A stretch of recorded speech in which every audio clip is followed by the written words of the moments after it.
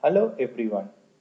During cancellation of proof of delivery through transaction VLPOD, error message VL693 would be raised if subsequent processing of quantities and subsequent processing of values are set in the transaction VLPODF.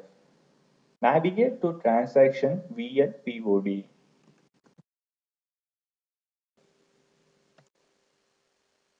Enter the delivery number. Click on Cancel Proof of Delivery. Error message VL693 has been raised. To avoid this error message, go to transaction VLPODF.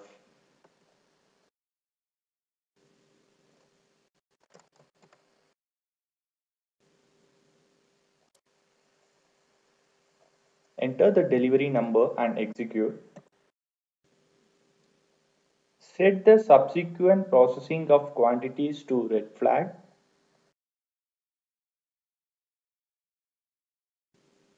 Set the subsequent processing of values to red flag.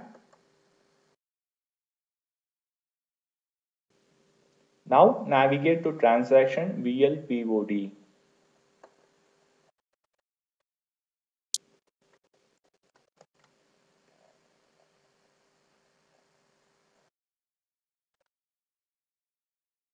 Enter the delivery number.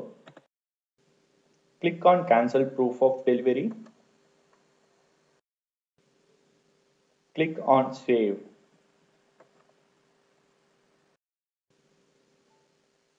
Thank you.